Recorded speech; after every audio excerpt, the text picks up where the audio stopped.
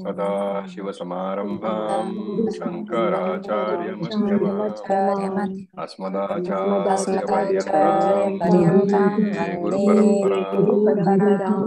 ॐ सहना भवतु सहनौ भुनक्तु सह वीर्यं कर्वावै तेजस्विनावधीतमस्तु मा विद्विषावहै ॐ शान्ति शान्ति। शान्तिः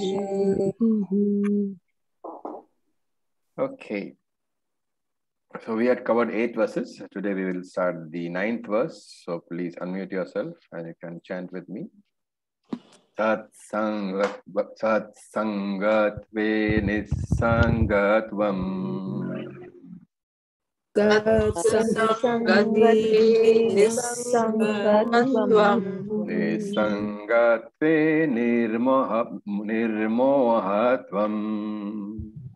निसङ्गते निर्मोहत्वम् निर्मोहत्वे निश्चलतत्वम् निर्मोहत्वे निश्चलतत्वम् निश्चलतत्वम् वे जीवन मुक्ति निश्चल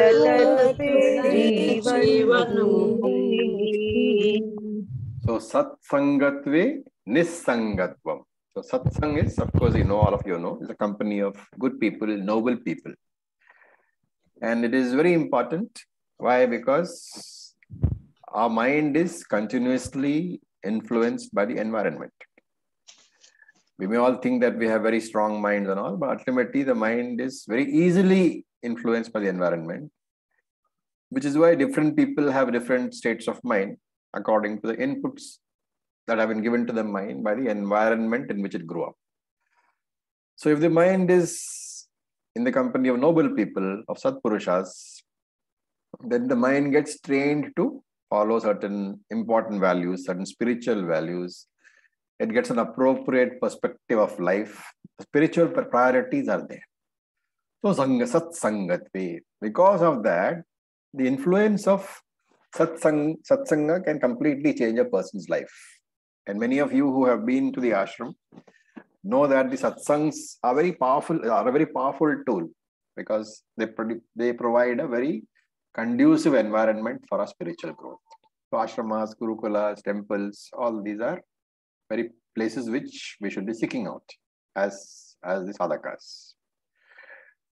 And when you are in satsang, basically these noble people, what do they do? They talk about the teaching of this shastra. So here satsangam, satsangam means shastric teaching, exposure to shastric teaching. And if it is not possible every day, it's okay, but at least regularly, once, twice a week, our Vedantic study should be supplemented by discussion with like-minded people.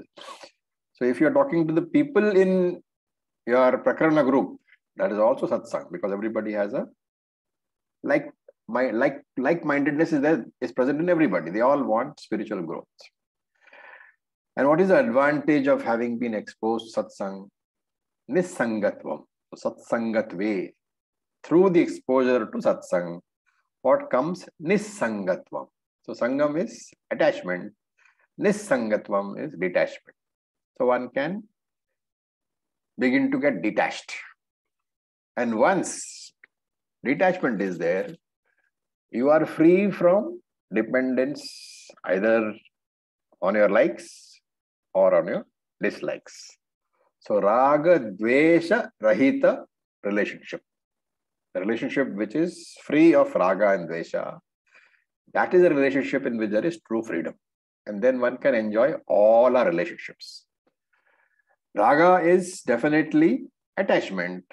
It is dependence. Why? Because when I have raga, when I have attachment towards a person, I very often mistake it as love. But essentially, it is a dependence. Because I love that person or I am attached to that person only because of the fact that the person satisfies certain emotional needs of mine. So it's a dependence. And raga and dvesha are both two sides of the same coin. Therefore, both are dependence. And we have seen in Bhagavad Gita that dependence gives rise to uh, weak and unhealthy relationships because because of that dependence there is certain value attached to the partner which is not really objective. And therefore any dependence gives rise to a loss of objectivity. And therefore i tend to think that my happiness is dependent upon situations around me upon people around me about objects around me. Those situations those people and those objects for me they acquire a value far beyond their real value. That's what is meant by dispassion. Dispassion basically, nisangatvam, is the ability to see something without any superimposed values. Right? How do you say, I'll give an example. Supposing you go to the one of the guys, okay, supposing one of the guys goes to the market to buy tomatoes, let us say and he comes back with not so great tomatoes. Okay, slightly maybe you know bad tomatoes, and the wife tells him, you know, you can't buy tomatoes. You're so useless. Do you see where is in that statement? Do you see where is the superimposed value?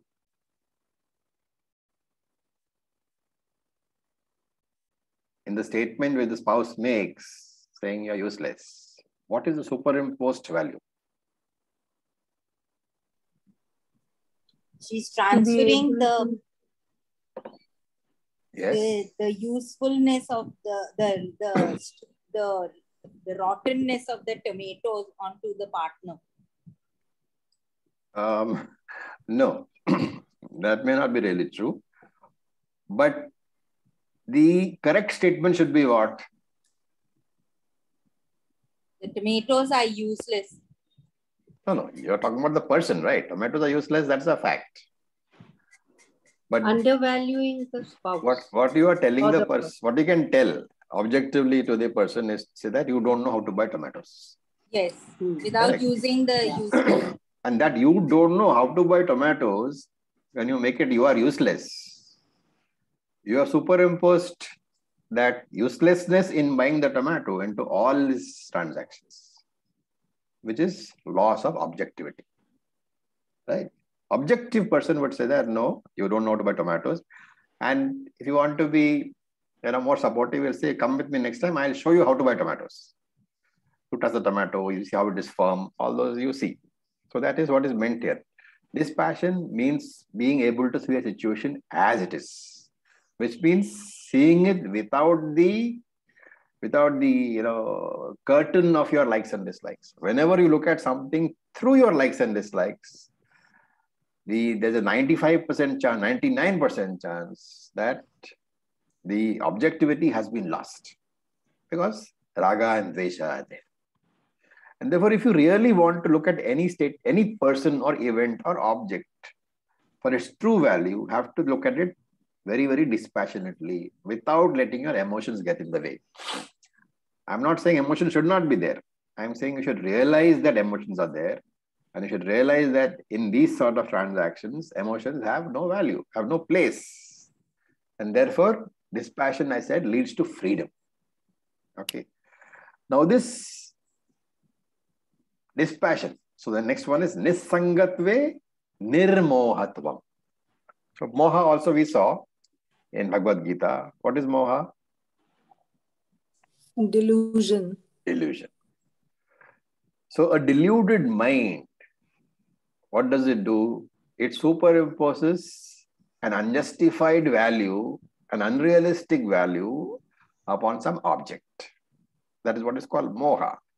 So we saw in Bhagavad Gita, a very detailed discussion on moha, where we said that if you think you know, for example, let me take, you know, another, another example. You are very tired, you know, and you ask for a coffee and somebody gives you a coffee and you say that coffee saved my life. Now, what has happened? That coffee has basically done what? It has satisfied your need for a warm drink to get over your tiredness. You needed that caffeine to get, give you a quick pickup and get away tiredness. But that real value was what? Real value was that I need something, I need a warm drink to get my tiredness over, over with. But you are superimposing, you saved my life. Now, that saved my life, maybe just a, you know, a, a phrase or speech, a turn of speech. But sometimes you, sometimes, not sometimes, most of the times, what we do is we give a greater value, which is, which is, what, I, which is what I call a superimposed value, unrealistic superimposed value, a greater value than it really deserves to any object of the world. And that is moha. The, the inability to see the correct value of an object, that is moha. So nisangatve nirmohatva. Because dispassion is what? Freedom from raga and dvesha, freedom from violent emotions. And freedom from violent emotions means that you are no longer subjected. Your mind is clear. The intellect thinks. Out of the antakarna, the intellect is the, the buddhi is the thinking portion. And that buddhi is in charge instead of manas. Manas is the place where there are emotions. And when the mind takes decisions, it's usually without reference to the buddhi. So it's very likely to be wrong. And when buddhi takes over, it is analytical in nature. And therefore, when the mind has no violent emotions, the buddhi can function freely. When the mind is violently disturbed, the buddhi rarely ever functions effectively. That we all know. So this deluded mind, it superimposes an unjustified value upon a person or an object or an, or an event.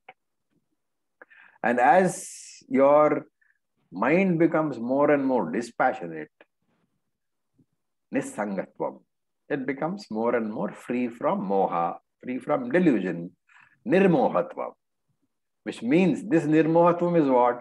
It's free from raga and dvesha. This freedom from raga dvesha, which is freedom from all negative emotions, and the freedom from a very violently wavering mind, he gave it another name in the Bhagavad Gita. Do you remember what it was?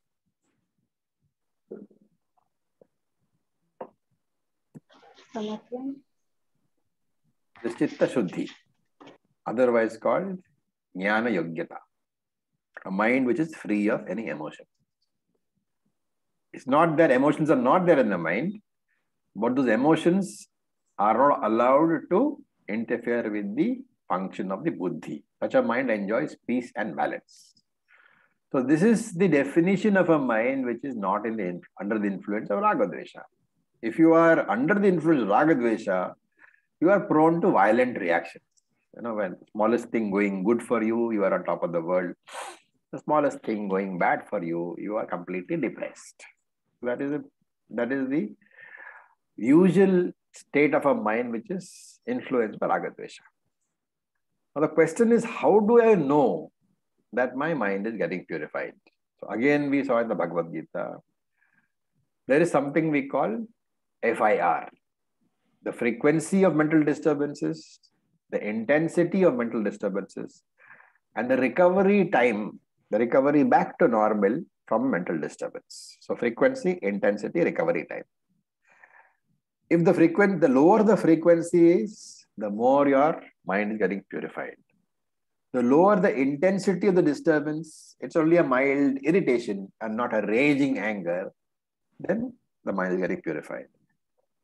And the shorter the recovery time, if you don't stay angry for or upset for hours together, the mind gets upset. It is the nature of the mind. But quickly, you recover. So they say in Sanskrit, Uttama Shanakopasya, the Uttama mind, you know, the mind which is the best mind, Shanakopasya.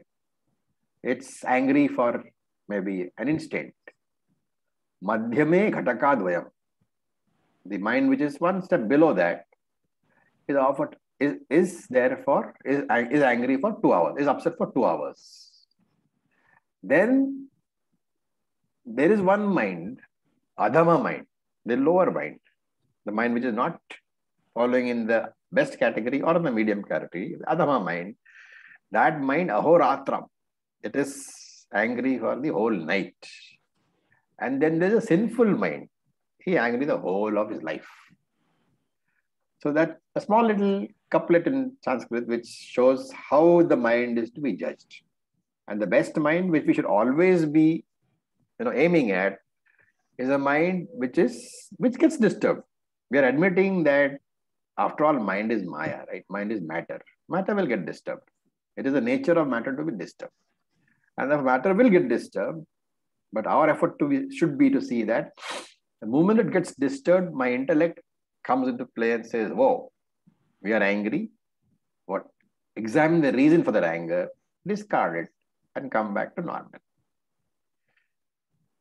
When I stop looking at everything as aimed at myself, you know, when my ego is no longer in the picture, when my ankara is not, no longer in the picture, then it is possible to recover immediately. Otherwise, you think things like, how can he say this to me?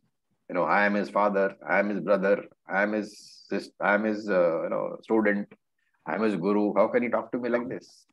When all that comes, that is ego in the in the play, ankara in the play. It is impossible for the mind to be completely free. Therefore, this FIR is a very important criteria which we use. How frequently do I get disturbed? What is the intensity of the disturbance?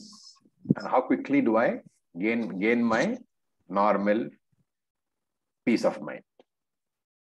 And if you do this regularly, once a week, once a month, and keep a record, you will see as your spiritual progress deepens, you will see that the FIR keeps dropping.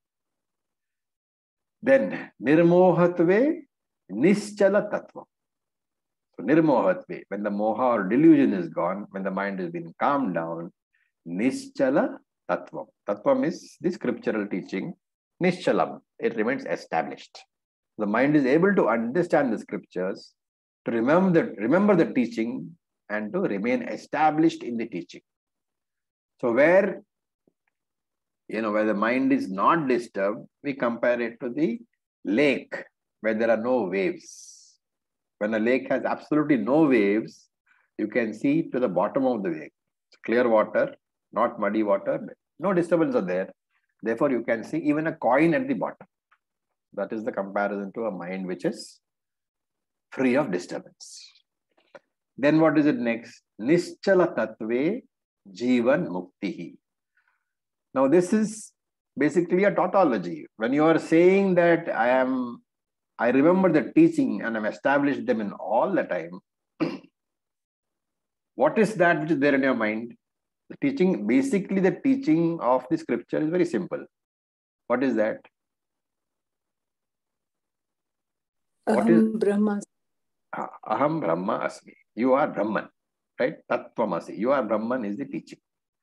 And so when you say Nischala Tattvam, that teaching you remember all the time. Remembering the teaching all the time is what is called Jnana Nishtha, remaining established in that teaching. And this is what he means by Nischala Tattvam. That Tattvam, that scriptural truth, it remains in your mind all the time. Nischalam. And what is the truth? I am Brahman. Aham Brahma Asmi. And when the truth is there all the time, when you constantly remember that you are Brahman, that is what that state is called Jivan Mukti. And therefore he says, Nischala Tatve Jivan Mukti. When that knowledge is established very firmly in your mind, when it remains in your mind all the time, Jivan Mukti. It means that I know that I am Brahman. I know that I am immortal. I know that I'm all pervading. I know that I am the only one who exists. So even when the body exists, when the RC is there, I'm aware that I am the OC. So becoming free while having this body, having this, this conviction that I am Brahman while having the body, this is what is called Jivan Mukti. So moksha has to be arrived at when the body is alive. It's only when you are a Jivan Mukta, then only is Videha Mukti possible. Only if you are free when you are alive, then only will there be freedom when the body falls. Obviously, right? Because once you are a Jivan Muktaha, there is nothing more to be done. Your prarabdha will take care that you will live the rest of the life allocated to you. When the body falls, you are Brahman alone. Right? And therefore, in this verse, it is very pertinent to recall what we call the ladder of fall in Bhagavad Gita. Does anybody remember what is the ladder of fall? Which chapter? Chapter 2. Chapter 2. Chapter 2. So, dhyato vishayan pumsah sangaseshu pujayate sangat pujayate kamaha. That two verses, okay, 62 and 63. Yes. That you must remember. That is the ladder of fall. And that is exactly what is being said here. When the mind is free from all these things, then you are free. You, are, you have understood the teaching that you are Brahman. You were Brahman, you are Brahman, and you will always be Brahman. Once that is there, you are a Jivan Mukta. Very beautiful verse. Okay, now let us look at verse number 10. So please unmute yourself. वयसि गते कः कामविकारः वयसि गते शुष्के नीरे कः कासारः। शुष्के नीरे कः कासारः। क्षीणे वित्ते कः परिवारः।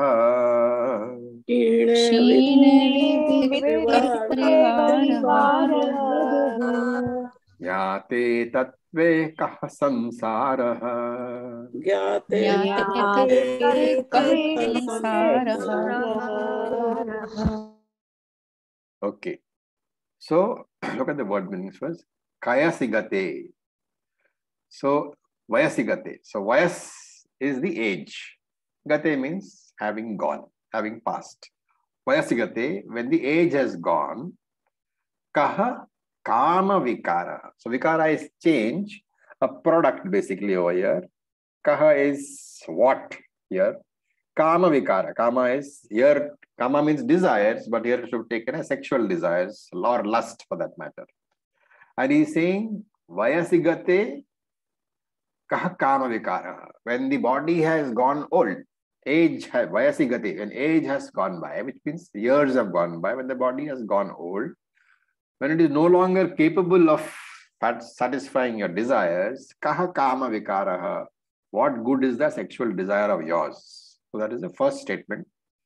Second is Shushke Nire. So Nira is the waters. Shushka means to dry up. Shushke Nire, where the waters have dried up. Kaha Kasaraha. What use is the lake? A lake is a area with a body of water. So when the water is gone, he says, what use is the lake? And then he comes down and says, Kshine Vitte, when the wealth has gone, Kaha Parivaraha, where is your family? Gyate Tatve, when the truth has been understood. What truth? I am Brahman. Yate Tatve. When you have understood the truth of I am Brahman, Kaha Samsaraha, where is Samsara? Very, very beautiful. So what we are looking at is this verse is exploring the Karya Karana Sambandha, cause and effect relationship. Cause and product relationship is being explored. Sorry. And therefore he says Vayasigate. When youth has gone by, Kama Vikaraha. So what he means is that this expression of passion in the human body is basically uh, an expression of youth. When you are young and strong and your hormones are running wild, ka- Kama Vikaraha is the expression of passion in the human body. So he says, Vayasigate Kama Vikaraha. How can there be an expression of lust in your body when the youth, which is the very karanam, the youthfulness is the cause and the passion is the effect. That is what he's saying. That because you are young, because your body is young, which is the cause, which is the karanam, there is a product, which is the passion or the lust in the body. And therefore, he says, how can that product continue to exist when the cause is gone? So, where the cause is gone, why should the effect continue? And if it continues, then what should be the conclusion?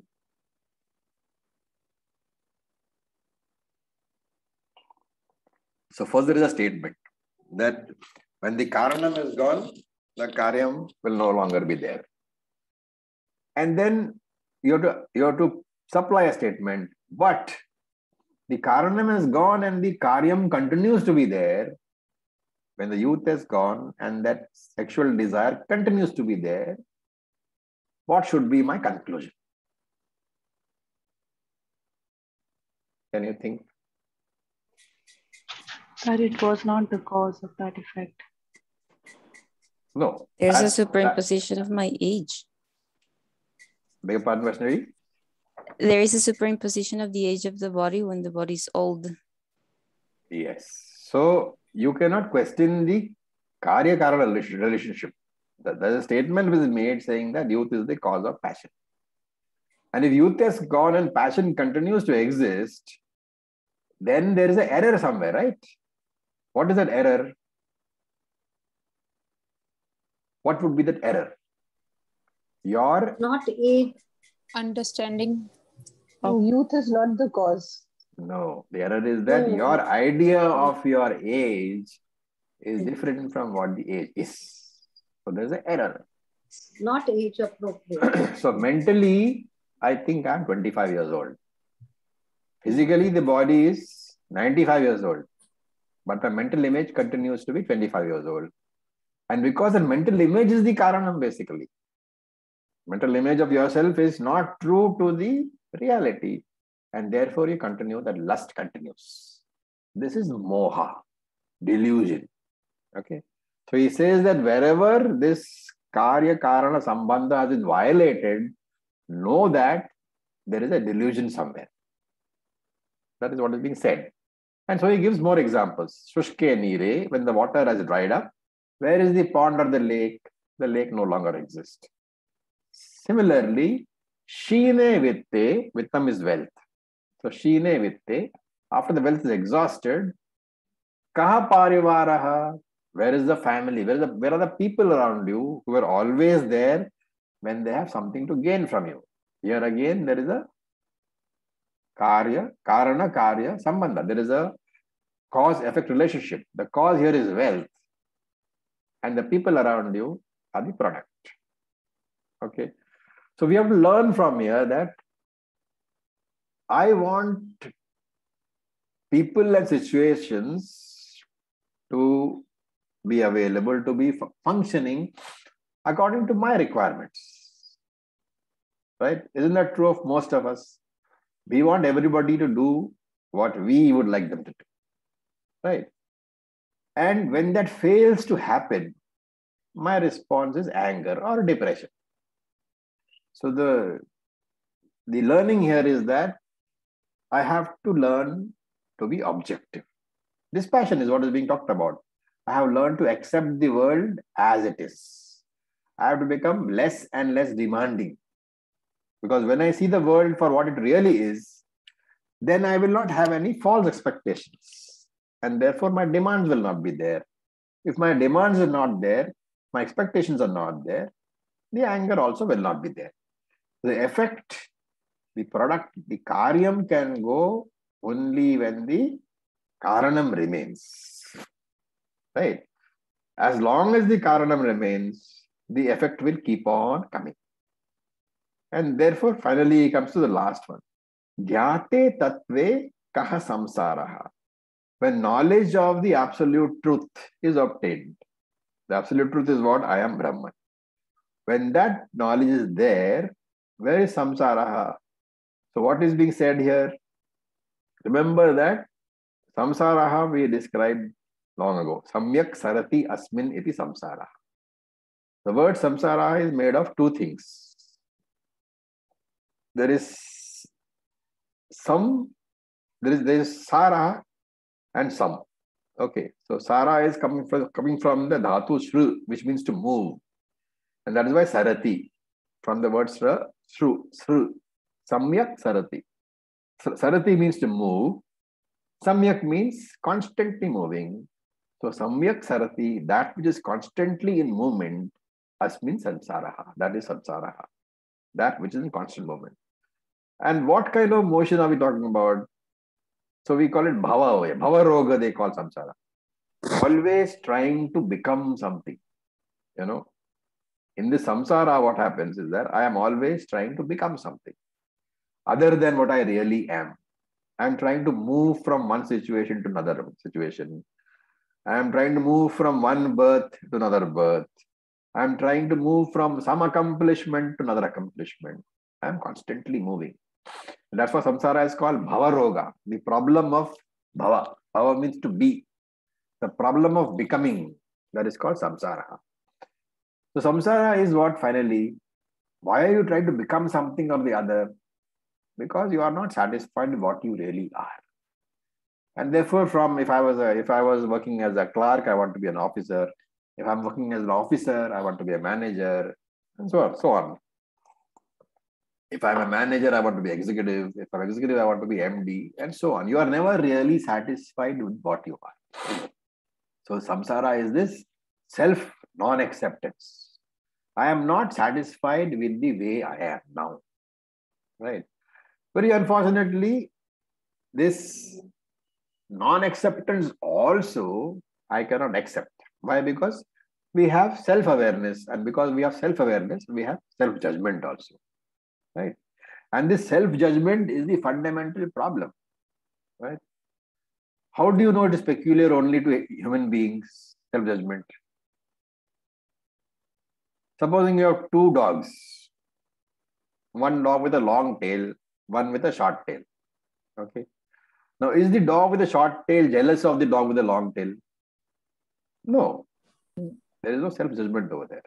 That is peculiar to self aware people, humans. And therefore, he says, Yate tatve. When the truth that you are Brahman is known, kaha samsara. Where is the samsara at all? When Yate tatve, when I know myself as Brahman, I know that I am all that is really there. And there is no more non acceptance because I know the truth about myself. When does this non acceptance come in? When I don't know who I really am. When I have a false conception about my own self. If I really knew what I was, that I am Brahman, I would love myself, but I do not. And because I do not love myself, this is a crucial portion. Since I don't have self love, since I do not love myself, I seek it outside. I expect that that deficiency, which is basically what that I am not loving myself, but I expect that deficiency of love to be met by the outside world, and therefore I want the world to love me, the world to respect me, the world should be very fond of me, not because I deserve all that, but the reason is very simple. The reason is that I am not able to love myself. I am not able to respect myself. And therefore, to fulfill that deficiency, I want others to respect me. That is what is being mentioned over here. Okay. We look at verse number 11. It is the same tone. It continues. So let us unmute yourself and we can chant. मा कुरु धन जन यौवन गर्वम् कुरुधन जन यौवन गर्वम् हरति निमेषात् कालः सर्वम्।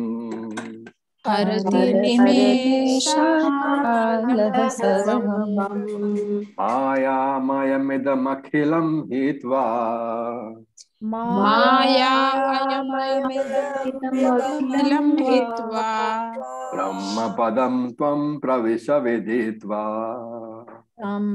ब्रह्मपदं प्रविश विदित्वा Okay. So you say, Ma kuru dhanajana yauvana garvam. Ma kuru. Ma is Sanskrit for don't or no. Kuru means don't do. So ma kuru, don't do effectively, which means ma kuru garvam. You have to You have to take those words properly. Ma Kuru has to be connected to Garvam, the last word of that phrase. So Ma Kuru Garvam, do not take pride in what? Dhana, wealth or possessions, Jana, people around you, and importantly, your youthfulness. Do not take pride. So in Jana, you can take it as do not take pride in the fact that because of your talent or your intellect or your position in life, you command the, you may be commanding the respect of people or you may be having control over a lot of people. So do not take pride in that fact. Why? You look at the reason why people are, are under you or why you control people or why people respect you. If it is your talent, which is given to you, the talent is not yours. It is not your achievement. It is given by the Lord. If it is your intellect, if you are a very bright person, very intelligent person, and that is why you're respected, understand that intellect is not your achievement. It is given by the Lord. If you have a beautiful body, remember that that body is not your achievement. It is given by the Lord. And therefore, he says, try to understand that I have truly created nothing. There are no achievements of mine. What is there to be proud of? Okay, that is one. Then dhana. So dhana here includes power, position, name, fame. I cannot even claim all these as mine, right? If I'm very wealthy, the chances are that I have inherited. It's certainly just a stroke of luck. If I have earned it, supposing I have been born poor and I've earned a lot of money, then you have to say, what is it because of which I earn money? Intellect or talents. So neither the intellect nor the talent has been created by me.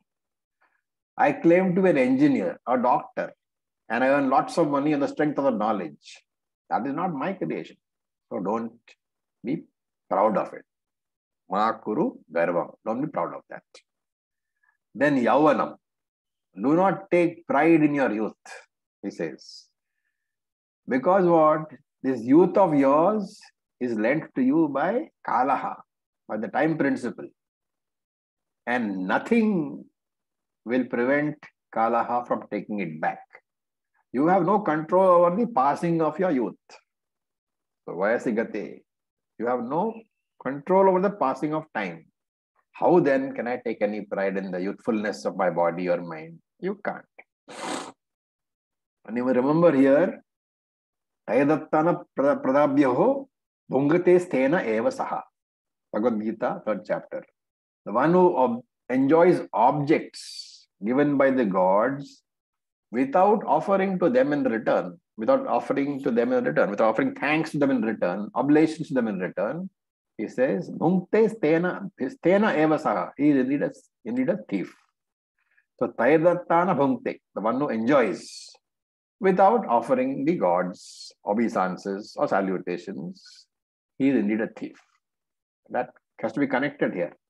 Therefore, whatever is given to you by the Lord, remember the Lord is constantly doing me favors. And that is why I am able to enjoy the universe. I am indebted to my the sages, the rishis, to my ancestors, and unto gods. So Rishiran is called Rishirana, our debt to the rishis, sages, and thinkers. Because whatever knowledge we get, whatever scriptural knowledge we have, the vast storehouse of scriptural knowledge which we are able to study today, that is because of what? There are all these rishis who have dedicated their whole lives to the study and analysis of that knowledge.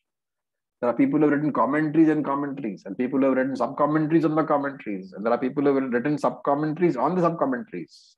The volume of spiritual literature which we have is phenomenal. To all these rishis, we owe our thanks because because of them that we are able to access that knowledge.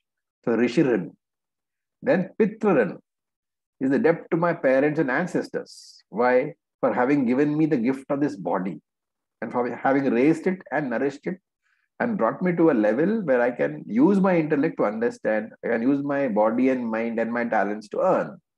And therefore, I'm forever indebted to my parents and ancestors. And there is Devarin. So Devata here means cosmic forces, which are constantly functioning. in order to support all of us. The sun, the moon, the earth, the fires, the waters, law of gravity, everything is there. They are constantly working in order to support me.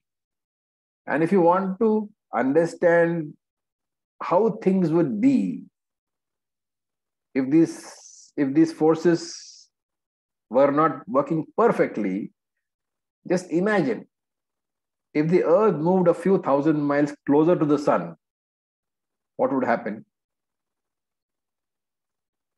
It will burn. You would be toast, you know. It That's would be burnt. And if it moved a few thousand miles away, you would be a piece of ice. So imagine this, the preciseness with which everything works. And therefore, without their favors, we cannot survive, we cannot exist. Therefore, we have to realize that all the factors, all these factors are constantly contributing to make me enjoy my life so that I can enjoy my life. And therefore, the proper understanding of this, if you have understood properly, it can lead only to humility, never to pride, right? And therefore, we must remember that it is not permanent at all. And that's why Shankara says, Harati Nimeshat. Harati means takes away. And Kalaha Sarvam. So Kalaha Sarvam Harati. Time, that is Kala here is Yama, Yamadharma Raja, also called Kalaha. Death, the Lord of Death. Kalaha Sarvam Harati, takes away everything. And he doesn't need to give a notice. So Nimeshat, in a mere instant. So Kalaha Sarvam Harati Nimeshat. In one instant, time or death can take away everything. You know, we have seen examples of how, how great people, very intelligent people get into an accident and suddenly they, become vegetables for the rest of their lives. And you may have all had experiences of young and active friends. Suddenly he is discovered to be seriously ill, is dead in a few weeks. Right? So Shankara is reminding you that Lord Yama can come at any time. It is not necessary that we will all live to be 100. Lord Yama does not need to send you a notice. He can just come and pick you up and take go away. And therefore enjoy what you have. It is not that Shastra is saying become a fatalist or a pessimist.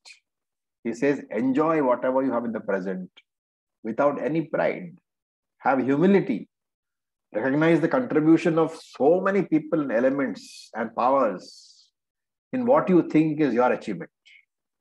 And therefore meditate on Govinda. Bhaja Govindam, Bhaja Govindam. And realize what? Maya Mayam Idam Akhilam. So Idam Akhilam means this entire universe. Idam in Sanskrit, which means this. The scriptures, this means Jagat, the universe. So Idam Akhilam. This entire universe, Maya Mayam. Is a Mayam is a product of what? Of Maya. What is Maya over here?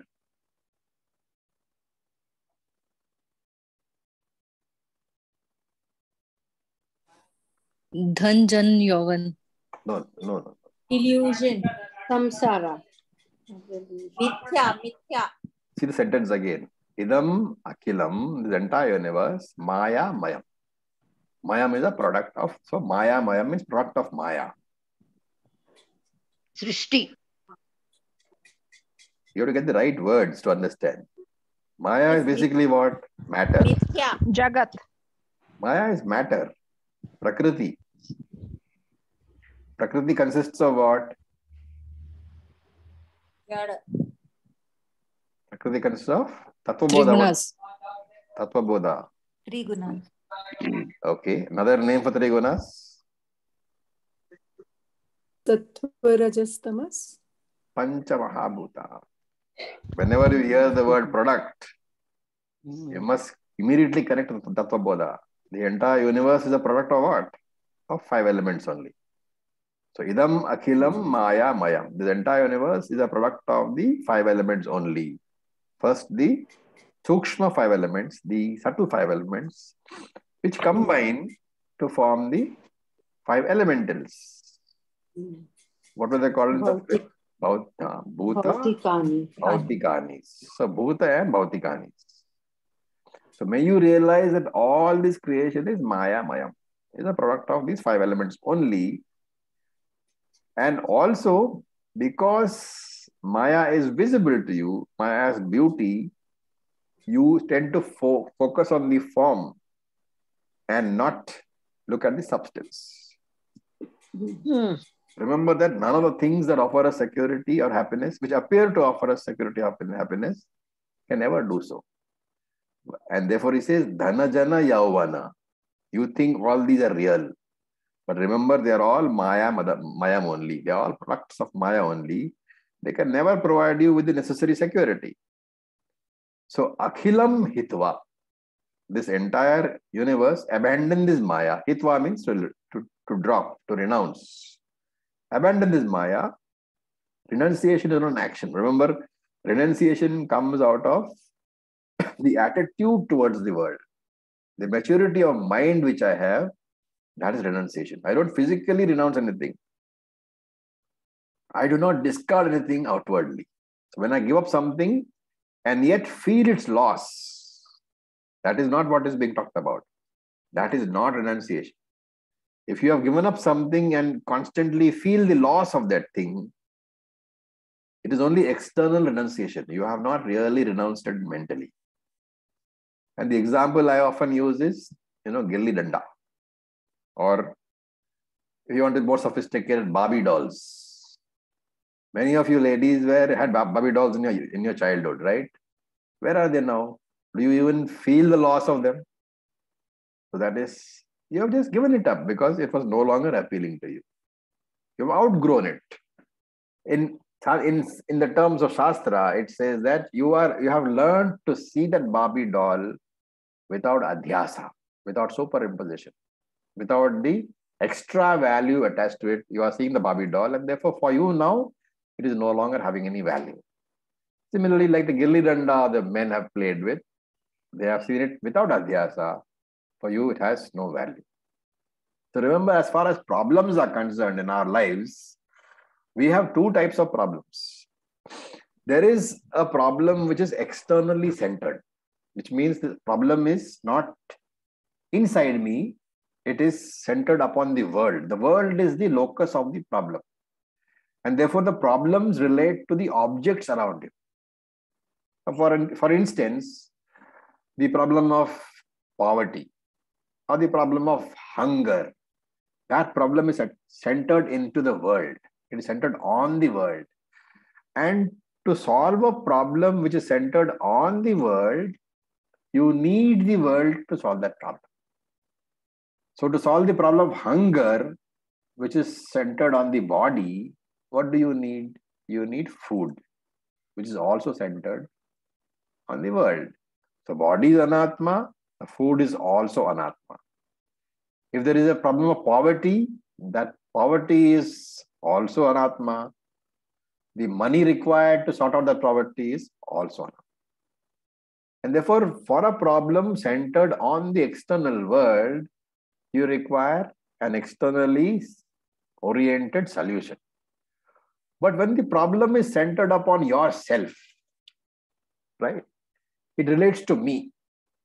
What kind of problems? Problem of sadness, problem of sorrow, problem of uh, fear, problem of um, inadequacy, problem of apurnatvam, limitation. These are all centered in me only.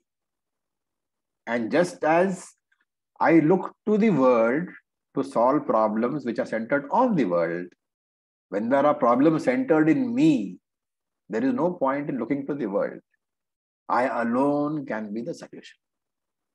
Therefore, we have to understand the nature of the problem and apply an appropriate solution.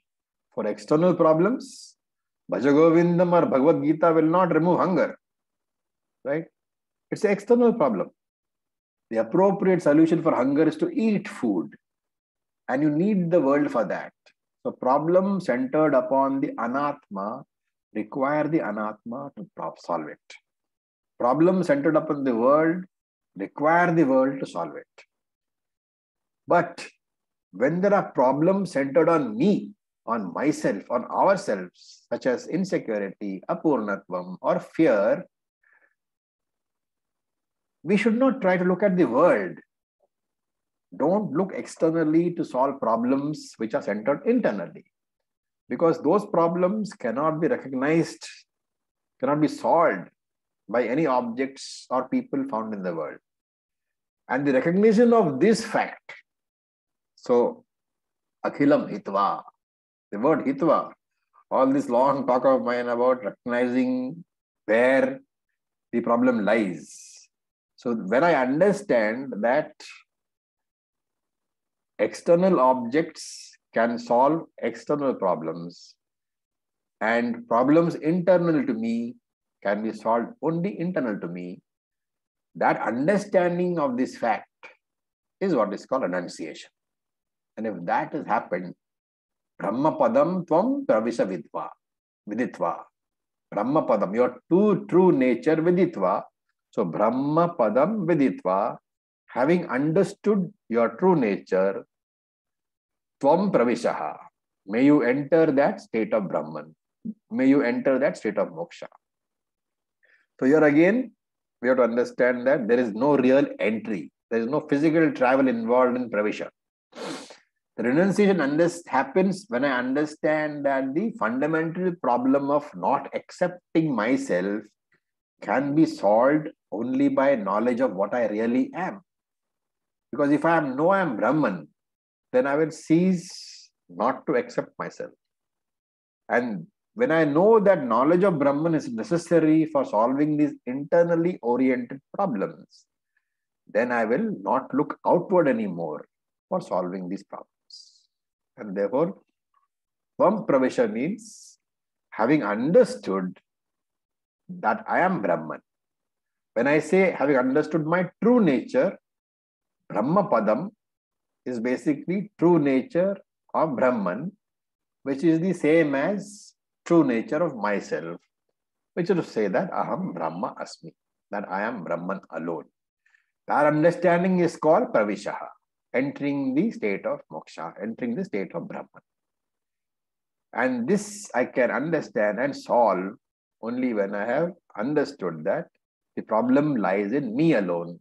No point looking outward for any solution. Okay.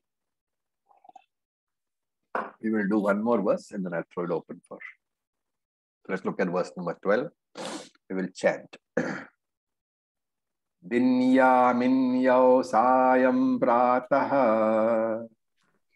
दिन्यामिन्यो सायः प्रातः। शिशिरवसन्तौ पुनरायातः। शिशिरवसन्तौ पुनिरायातः। कालक्रीडति गच्छति यायुः।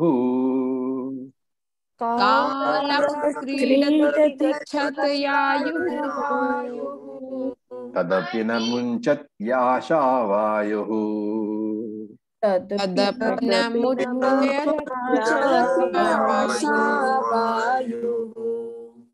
Okay so दिना दिना is दिना दिन्या mean you has to broken up properly दिना and Yamini what does it mean Day and night. Day and night. Yamini is night. Dina is day. Dinya Minyo. Yeah, day and night. Sayam Prataha. Evening and morning. Shishira Vasantaha. Winter and spring. Punarayataha. They come again and again and again. So he's talking about the cycle. The natural cycle of day and night, morning and evening, winter and spring, they always come. Punarayata, they come again and again. The cycle never ceases.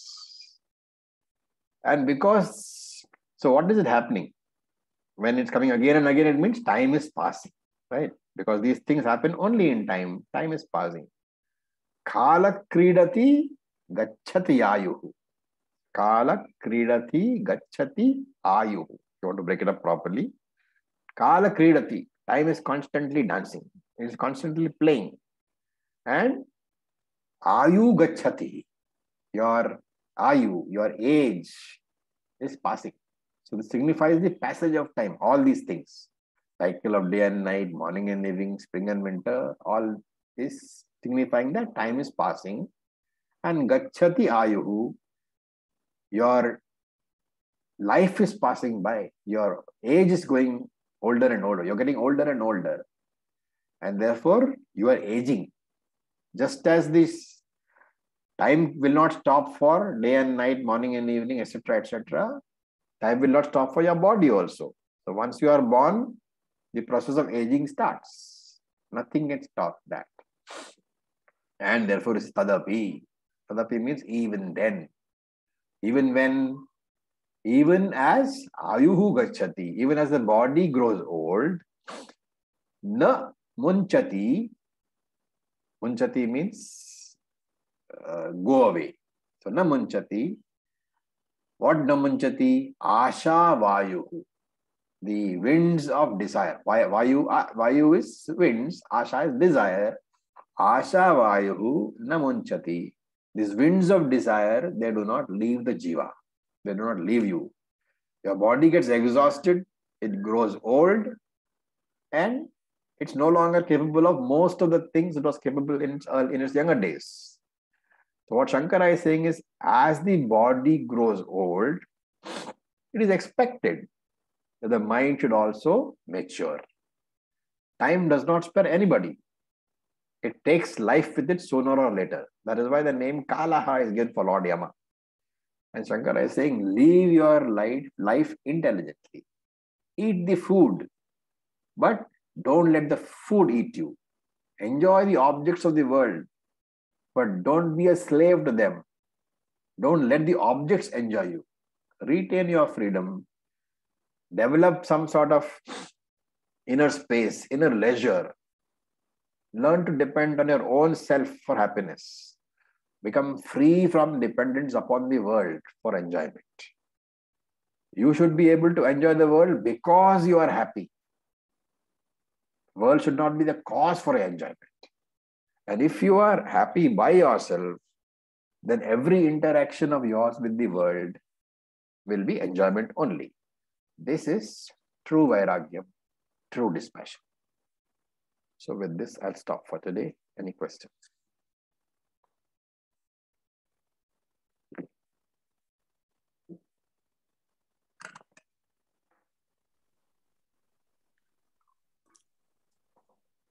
So only gratitude. no question. Okay. So thank you so much. And we will see you next week. Sure. Om Thank you, sir.